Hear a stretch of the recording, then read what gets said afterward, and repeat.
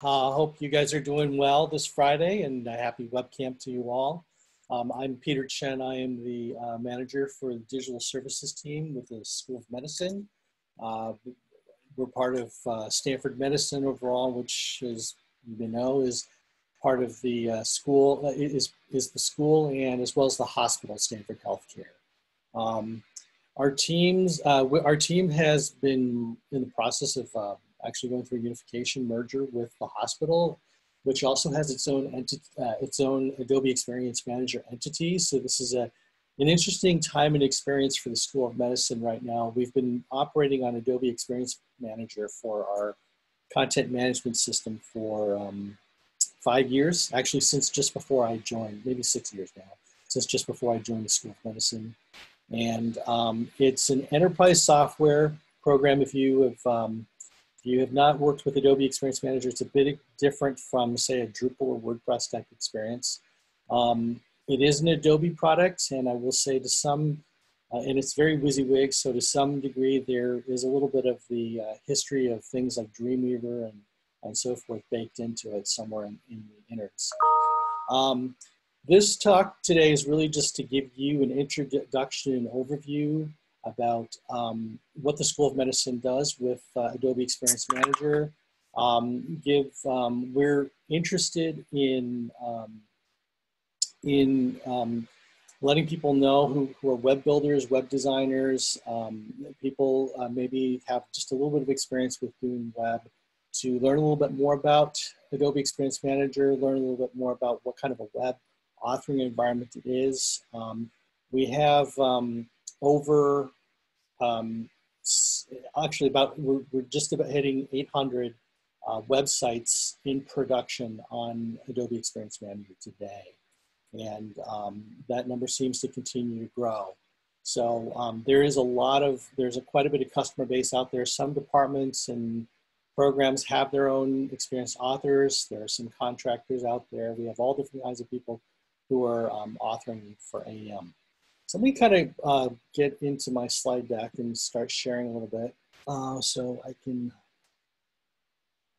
tell you a little bit more. Um, by the way, uh, my, my colleague, um, Zach Aiken is also here today. He is, oh, that's the wrong button. Um,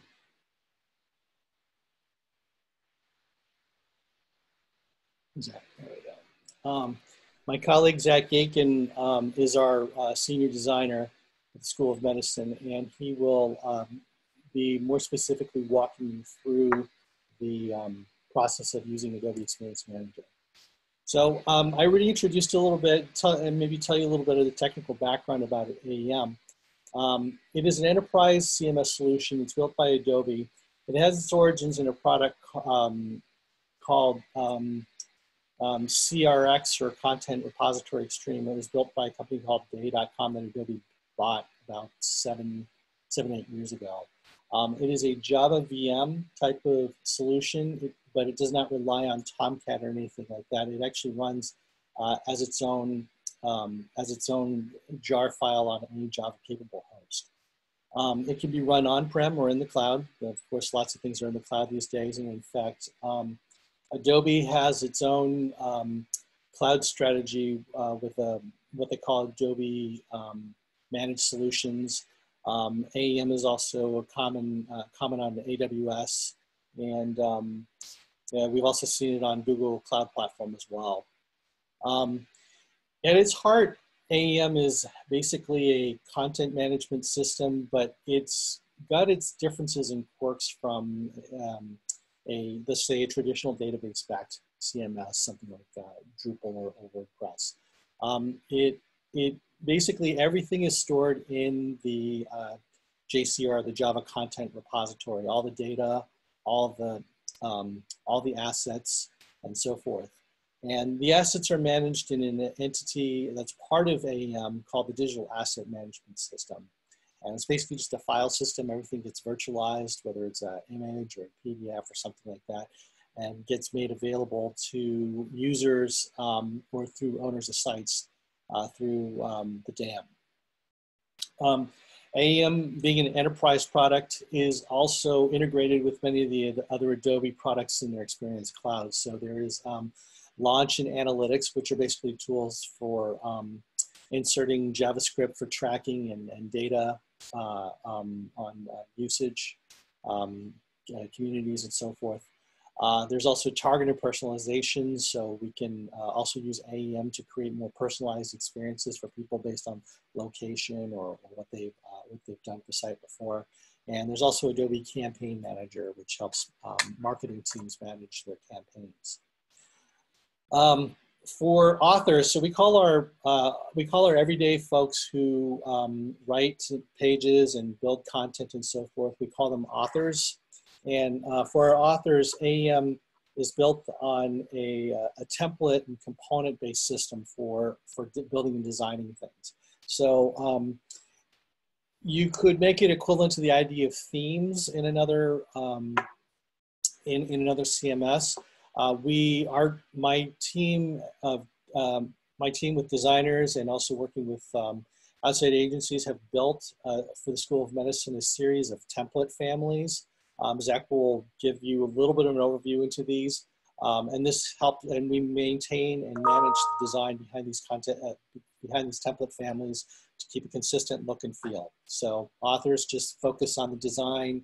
Um, components are basically um, little tool entities that we drop into the page and there's a whole drag and drop mechanism to, uh, to work with the components. And a component is basically defined as a tool that can do something like can insert a text box or can, um, can insert a, um, an image or can create an API or we can actually bundle a bunch of things together and do structural things with uh, components. So we might have something like an accordion or a tab system uh, built with a component.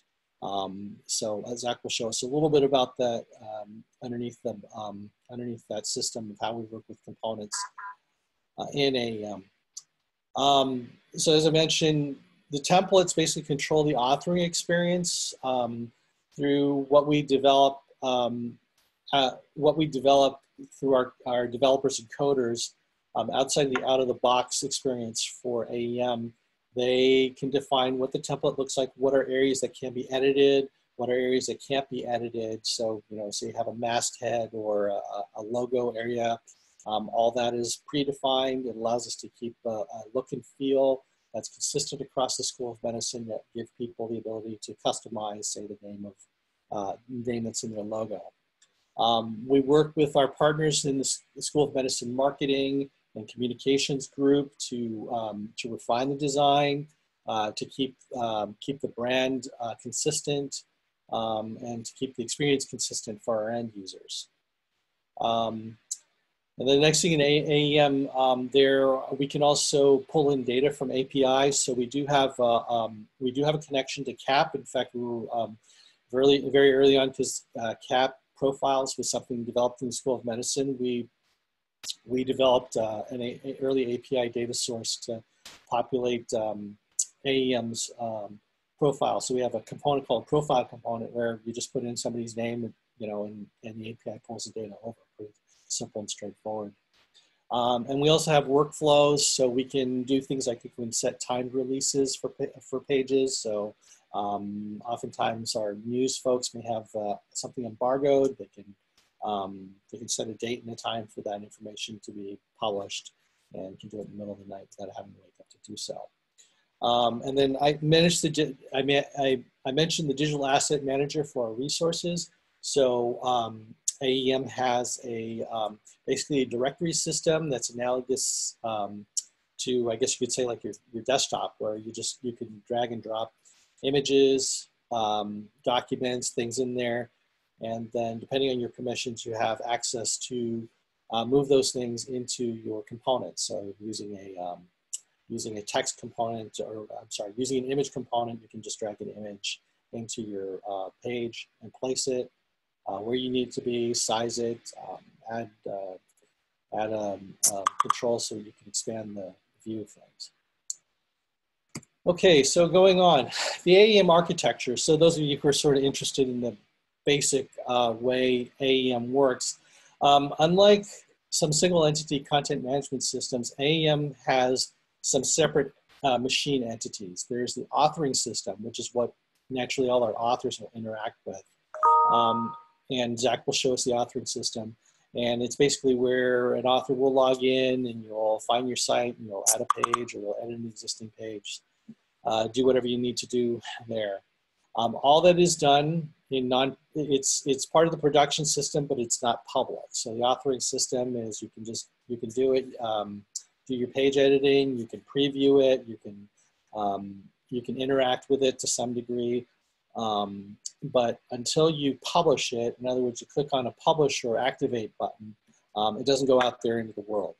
And when you do, when you do activate or publish a page, it goes to our publisher system, which is another Java machine and basically another separate entity from the author. And what that acts as is basically a, a page generation machine. So um, publisher just has all the instructions on how to how to produce a page out in the real world. And the third entity we have is called the dispatcher. And what the dispatcher basically is just a, is a, uh, is a front end cache. It's an, it's an Apache system, uh, an Adobe Apache, I'm sorry, an Apache um, web server system. Um, in the School of Medicine architecture, we have one author that sends data to four publishers that have four dispatchers in front of them. And uh, the reason why we have four dispatchers, it's, you know, like I said, it's like a front end cache. So we have a load balancer that sits in front. Anybody who goes to med.stanford.edu will pull up any one of the four dispatchers and it helps manage the load and uh, you know manages um, manages the experience for users. So we have very fast um, we have very fast um, time to live on pages using the dispatcher cache in, the, in front of things. Um, so what I was saying was um, author um, Author is a web-based solution um, for designing and building our pages. Um, it's basically a WYSIWYG experience, and, and uh, Zach will show you what that's like. Um, the um, it's uh, even though uh, a lot of our authors tend to think of things as being one page at a time, and they'll build separate pages and build hierarchy. There are, in fact, inheritable properties. Um, we'll build site structure, we'll build menus, based on its um, based on the relative position of things. So um, a lot of our authors like the ability to control the hierarchy and develop their architecture uh, using the system. Um, is exactly what I described it to be. Content is just put there. Um, and yeah, I already described the dispatcher. It's basically front end cache. And uh, besides this, we um, um, besides the production system, we also have uh, uh, staging development environments, and we have we're we're a full development shop here at the School of Medicine. So we're constantly building and, and redesigning and adding new features and uh, new components and so forth. Um, so I, I, started to give a little background. The School of Medicine websites, we have actually over 900 websites that are under the med.stanford.edu domain. Um, some of these are also virtual domains, so you'll find um, some entities like medicine.stanford.edu or bigdata.stanford.edu. These, these subdomains are actually um, served from our same AEM um, entity. Um, every author logs in to the same authoring system. Um, it's one entity. We can actually manage all the sites from that. currently, we have just about 800 sites on AEM. I think I mentioned that earlier. But the med.stanford.edu domain actually manages more than that. We've got over 900 websites on there. Um, we've also got about 30 different applications that are also under med.stanford.edu. And we've got um, a handful, about 40, 50 legacy sites, things that are actually static HTML, and the addresses are still under med.stanford.edu. So uh, we're actually putting a lot on our load balancer in front of AEM because it's not only directing med.stanford.edu traffic to med, but it's also distributing to these separate application hosts as well as some of these legacy hosts. Um, we're in the process of, of, of uh, deprecating a lot of our legacy sites. This would be equivalent to, I guess you could say AFS websites, you know, the things that are web.stanford.edu that, that are static HTML. Uh, we're in the process of, of getting rid of the last 50 of these at this point and uh, hope to do so by the summer and uh, get a lot of these entities out there. Um, so just to let you know a little bit more about who we are um, before I turn this over to Zach, uh, we're digital services team. Our presence on the web is at uh, med.stanford.edu slash web. Um, if you're interested in learning more about Adobe, uh, you can uh, visit Adobe's website. I guess we'll make these slides available later. Um, and um, Zach, I can turn it over to you. Are you ready? Sure. Well, let's uh, let me share my screen now.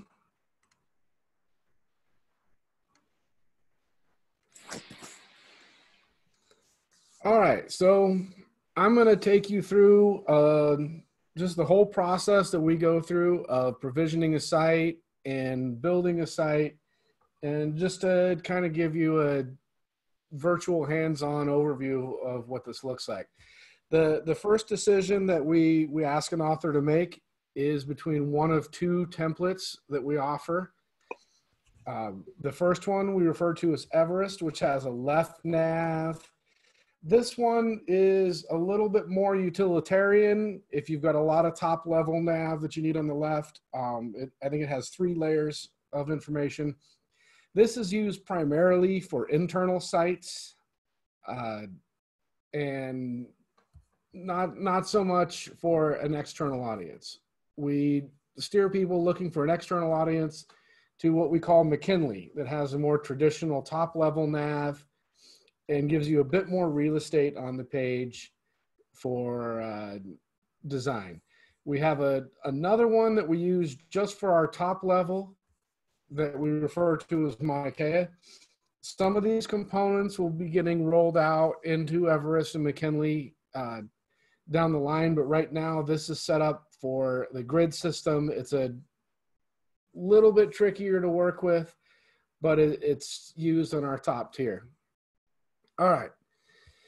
So we're in AEM. I'm going to bring up the site provisioning tool that was uh, a little bit of custom work here and we'll call this webcamp. And let's make it a McKinley site. You can tell that Sarah is a Star Trek fan. And what we're given is a basic sample site that's dropped in when we open this up. And it we just went through a major revamp of this, uh, streamlining the amount of components that go on this page as your example so that we don't overwhelm the user. We used to have a, a much more complicated sample site kind of trying to provide the kitchen sink and found that that really wasn't helping our authors a whole lot. We do have uh, other sub pages when the site gets provisioned of common page types that authors can utilize to to copy or just to to get ideas of basic page layouts. We can go into those in a little bit. So we've got the new webcamp site. AEM has got a two basic modes the author mode and the preview mode. This is our toolkit that provides all the various components that we drag and drop on the page to modify and, uh, and build as we want to go. So the first thing I would do is in the site name, I can give it a name. Well, well, I don't need it.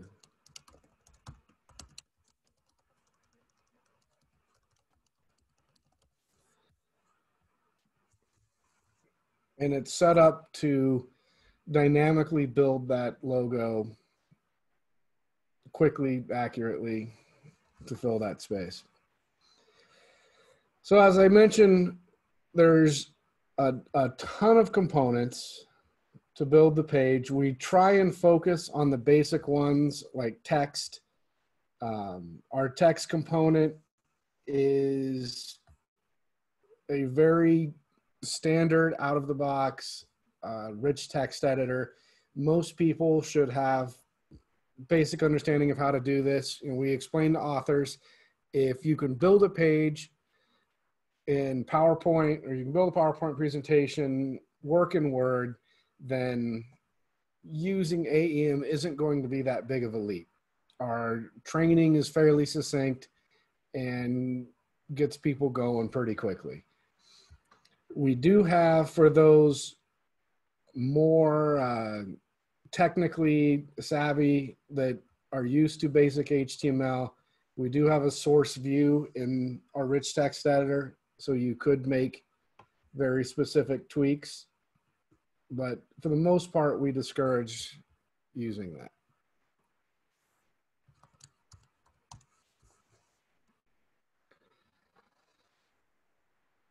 On the left is what we what's called the content finder. So when you upload images into your digital asset manager, which would be found over here,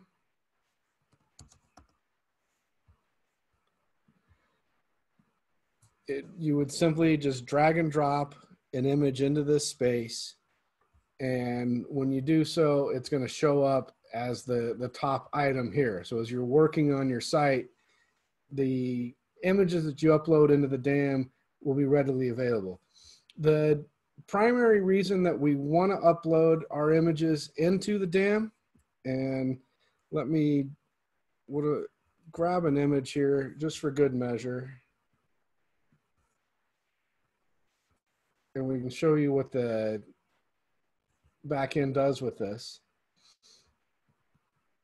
It will create various renditions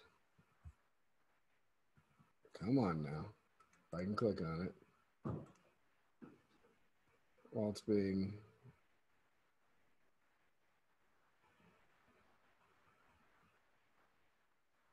There we go. So when we upload our, our image, the digital asset manager is going to create various size renditions.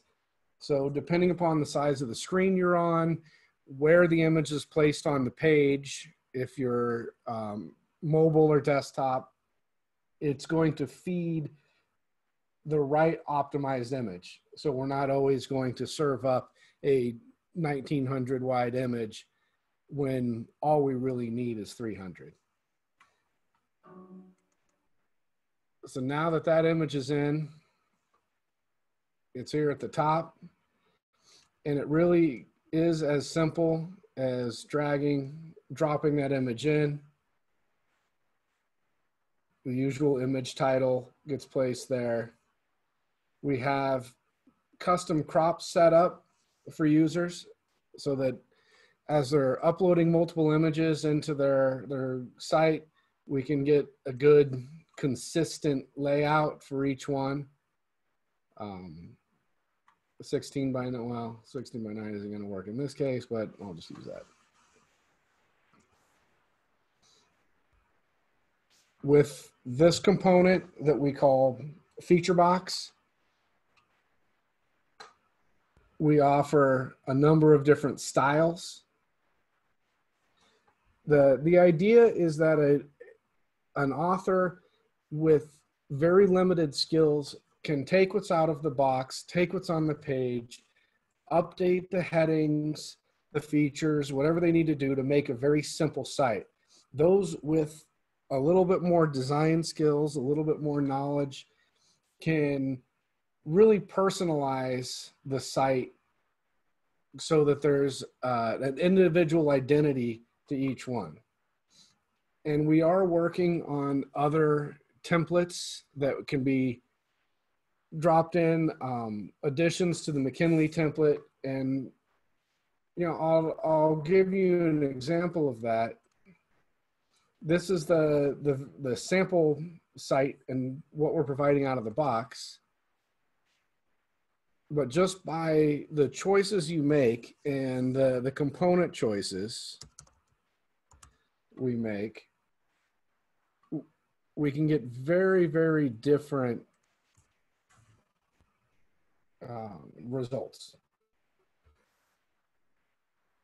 Here I'm still using the hero banner at the top. Oh, this isn't, sorry.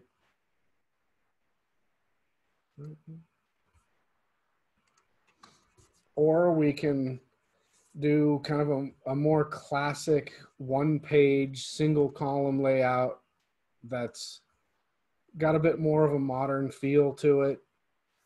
Uh, we can make different choices to create a, a bold red heading, use colors and icons, and give it a, a own unique look and feel for each each site. We have the option in a lot of these instead of choosing an image because an image as we we try and explain to people an image isn't always necessary. We don't need images for image sake. Sometimes you can say much more with an icon. And for that, we've integrated the Font Awesome icon pack into this so that we can choose an icon, choose a background color,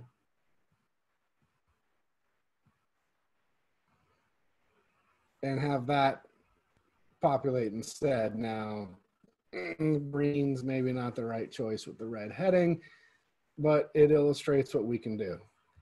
Uh, something else that I wanted to show quickly here with, with my limited time. Some of our other uh, component directions that, that we have. Uh, news is a good one because we have list builders. And with these lists, we can either create based on tags coming directly from our news center, or we can build a list using a subdirectory from our own site. So if I create news pages, which I do have a, a couple of examples in here, I can choose this directory and it will take the basic information that's on these pages and populate them in this space.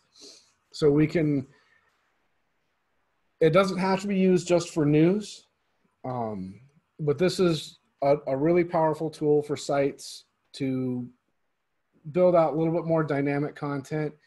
We've even seen some sites use this functionality to build things more like a blog. Uh, Stanford Medicine 25 is the first that comes to mind for that one. Another thing that we've integrated with is Stanford Profiles. And in this, we can call up any faculty name. We, we use Russ Altman most frequently as our uh, our, our, our poster because he is involved in just about everything. Uh, choose what type of title we want to display. And then we can show either just the, the basics of his title and a bio.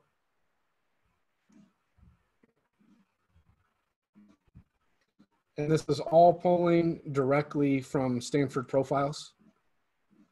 And what's really useful is we can show publications and even choose if we only want to show the featured ones, show 10. And now it's going to pull in his featured publications. Maximum of 10, looks like he just has seven. This CAP integration is also used in creating people pages. And it can be done by either pulling in a dynamic name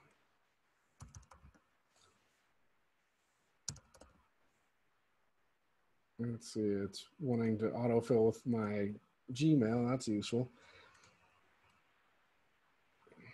Sometimes we do have to refresh to uh, to see the photo. Or we can pull in a custom profile that will format the same, but it might be an affiliate or someone who's not inside of uh, the CAP system.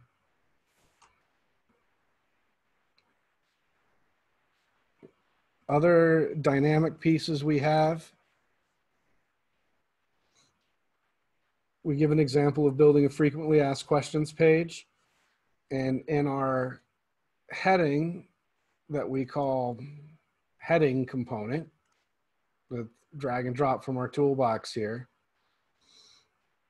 we have an option to use it as an anchor. And when that is selected, it will automatically populate this anchor index menu for building long jump pages. Of course, we don't have a lot of information in here, so it's it's hard to show off the the use of this. But we we try and create these little integrated pieces where we can to make things as simple as possible for our authors to create dynamic, useful sites. We have the ability to create email forms. It's very basic. Uh, it'll just collect information and send to an email alias. We can integrate CAPTCHA into this. But if we want to go with something more complicated, we have a good integration with Qualtrics so you can uh, upload or you can create your form of whatever you need in Qualtrics and then bring that in using our external component to iframe it in. We also have a dynamic maps component. Pretty straightforward in, in using that. Some of the more uh, useful items that we have in here, lesser known that AEM can do, we have versioning, which is really handy for authors who are planning on making some fairly significant changes to their site just in case something goes wrong. They can create a version and then restore right back to it. Uh, currently, we're limited to only five versions, and a new version is created each time we activate the page. So if there is, again, something that changes in between activations, user can go back in, restore their old version. Beyond that, and it has happened where things go wrong, we have to go back in into uh, our side, but we can dig further back when an author does something really catastrophic, and it does happen.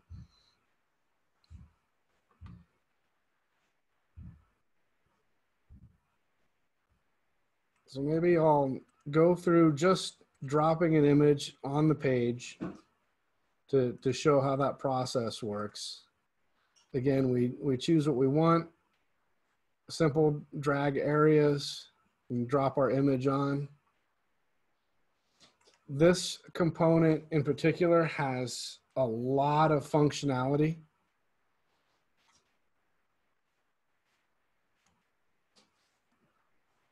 We can give it our consistent crop.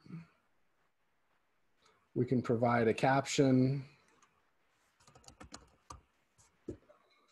We've got a couple different options to customize that caption color. We can set the image to a specific width. And we can even float that image, which works in conjunction with text. Link it, and then uh, enabling a full screen modal gives us the ability to then, you know, drop this in above the text. Floats it over, and then we have a our full screen modal link that is uh, placed as a watermark over the image that then can bring it up as a full screen. Now, here is something I can take a quick uh, sidetrack on. That's not the image that I uploaded. And this is something we encounter quite a bit with uh, AEM and with browsers. That's the image that I dropped in there. And I have to do this so frequently that I have my cache cleared as a on my bookmark bar and I have to, to clear our data cache. We are always telling our authors to keep calm and clear their cache.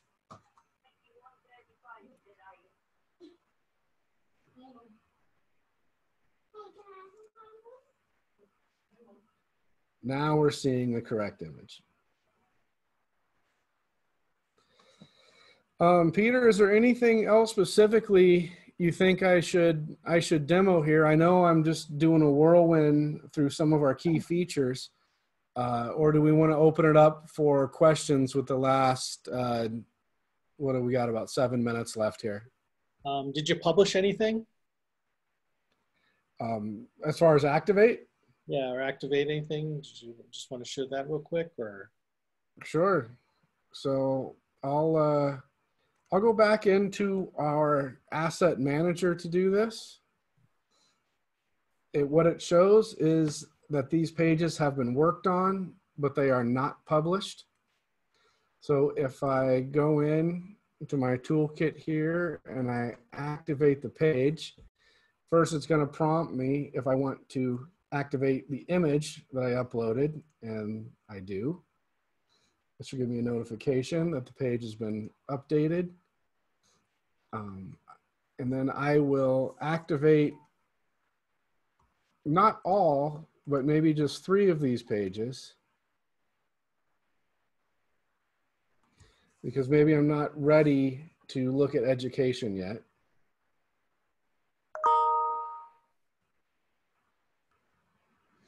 And now it's gone green, we're activated.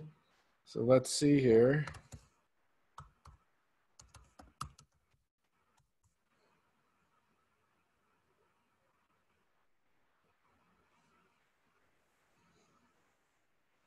And our WebCamp page is here. Everything but education. We also have the ability here in the, the preferences for these pages, the properties, we can activate this page, but perhaps we don't want it in the navigation. So I can turn that off. And now I'll activate the education page.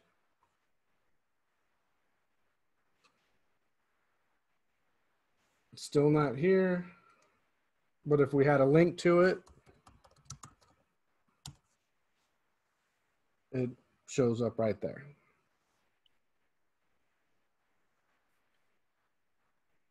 So um, with our last few minutes here, do we have any questions? Uh, would anybody like to see anything else that we've got going on here with AEM?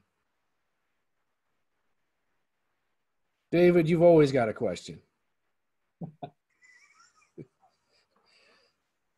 But I don't. It, it just happened to put your picture right below Peter. So this is this is really great. I, um, it's really uh, awesome how powerful of a of a um, solution you've put together. Uh, some of the questions I would have is like, uh, you know, we just re- released our D8 one, and we definitely took a little bit of a different t- um, uh, approach with our first launch of ours, which is simplify, simplify, simplify. And you're you you're walking out out the door with a lot of complex functionality that is um, fantastic. How um, have did you? What kind of research did you do to decide? Oh, we need um, four or five different um, feature card types, um, or was that just was it more of a port uh, or a recreate the functionality that you had on the previous system and make sure that everything was still intact? as opposed to build a new system where we're building a new system and you have to migrate your content into it. So it's a little different, you know, different situation for sure. So, so there, there's there's two parts to that. One, when we set out to build this thing initially um, six years ago, we didn't know what we didn't know. We had a, a series of designs and specs from a company called Hot Studio, and before they delivered all of their final specs, they were acquired by Facebook. And so we we took what they'd done, and the idea initially was to give authors the power to create and customize their site. And a lot of those styles were based off of legacy styles. The feature box was a direct translation of how things on the old Dreamweaver site were laid out. And we just wanted to provide several options for that personalization. Now, about a year ago, we did a major design refresh where we we weren't able to get rid of all of those options because there's so much legacy out there and moving things over is difficult. But what we were able to do was really circle the wagons on design and unify how things work and how things look. So we have a text and image component, and we were able to go back in and make sure that that looks and behaves just like another component we call color block. And, and all of that has the same layout and spacing and formatting as the news component and as the list components so that everything gets a much more consistent approach. Kind of like you know working in photoshop there's 10 ways to achieve the same look. And that's really been what we're working towards with this so that we can give you the freedom to design your unique site but give you a very varying number of ways that you can achieve that. Awesome. Thank you. Thanks, Dave. And kind of add on that is that also presents for us some challenges with the way some of our components have evolved um, because they're coming from different directions, the type of information that people input, you know, say you want to build a text and image or something like that, then the way the data is organized that you put in the component, like you saw with Zach was doing is, you know, maybe put a title in first and put in all these other things. And then a different component that renders the same, a very similar look comes with the data coming from a different direction. And so there is, there is that possibility of confusion about these components sometimes. So we try to design things um, to minimize convergence, but it sometimes it's unavoidable. We have to um, distinguish one component for the other for its utility so we thanks peter. We we had a, a question come in here. It says aem help is difficult to navigate. Can you suggest some website where we can find better instructions? And i absolutely can. Also it would be great to have hands-on workshops on how to build and improve a website. And i agree with that completely. We have done workshops in the past. We do have um, well we used to have biweekly drop-in sessions where authors can come in and uh, talk to me or one of the members of our team to get help with design and help with uh, some technical issues they might be having. We're going to be moving those to, I believe, weekly on Zoom, but we have yet to fully set that up. And as far as instruction goes, Can I interject real quick, um, Zach? Because I think that that is a fantastic yeah, idea that we do something along the lines of uh, how to improve a site. And I will um, actually ask Marianne, who, who does our um, author outreach newsletter, see if we can put something out there where maybe we can get some submissions, find somebody who's interested in getting our um, kind of a public consulting about that. We can maybe pull, a, pull up a site that's been around for a while see if we can come up with some ideas on how to help improve that and maybe do that as part of a workshop. Does it sound like something that'd be useful? Yeah, I, I like it. Okay. So on on our site, we do have training materials for each of our components, and we have laid them out very similar to the toolkit itself. So that you know, right down to the granular things of how to build a button and the various button styles. So there's some really great tools here, short videos. Some of these are a bit old. We, we have a new member of our team who's working on new training as we speak, just finished a, a bit on Box and we'll be helping with these. So, so yeah, check out our component tutorials and and also on the website, you know, speaking of training, I'm, I'm just curious now, man, how long ago was it? Zoom sessions.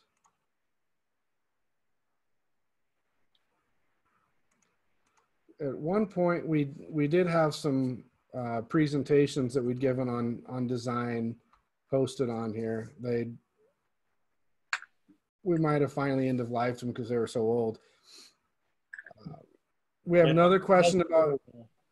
about given the COVID 19 outbreak and priority shifting, is the May 15th date still set to remove or uh, unprotected SUNET protected content? The, the deprecation of SUNET protection. Um, Peter, do you do you want to try and handle this one?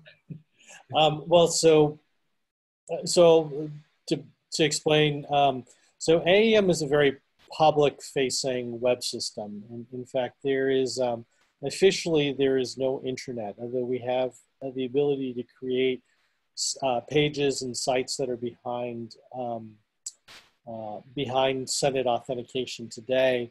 Uh, this is actually not the way Adobe has has designed this product.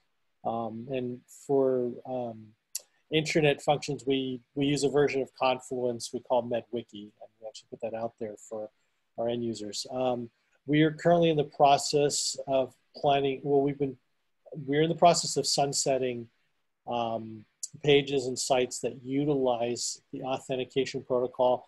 Partly because it's really a hack of Adobe's core software. It's not. Uh, it, it's made it difficult for us to do upgrades. We're actually currently on version 6.2 and the latest version is 6.5 and there's some important um, updates and features we want to get out there to our community. So it's been a bit, bit of a blocker for us um, as of late. And since we've now joined the Stanford Healthcare, we've been able to make some decisions here where we are going to be migrating sites that have the requirement of things behind authentication to, to make them um, MedWiki intranet sites instead of uh, relying on AEM. So um, if you are working with AEM today and you see the page properties, um, under the page properties, you have the uh, private page feature. That will be going away. Now, May 15th, I will say, is not hard in stone right now. There are some extenuating circumstances right now by which that may slide a little bit, um, but I can't really promise anything specifically about that. But it's, it's a feature that unfortunately we are deprecating at this time in AEM as it's, it's not supported by Adobe.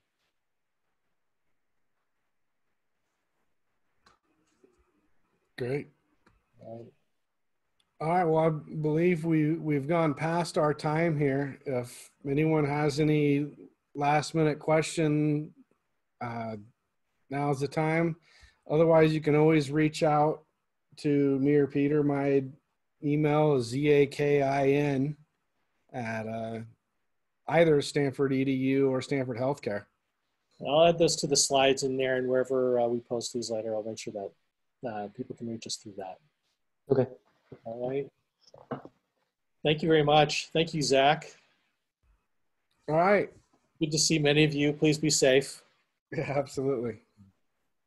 Hey, uh, Peter, you can upload these on the uh, session webpage if you'd like. Fantastic. Okay. Thank you. I'll do that before the end of the day. And we will try to get the uh, screen recording uploaded as soon as we can. It might be a month. All right. Thank you, everybody. Have a happy web camp. You too. Thank you. All right. Cheers. Cheers.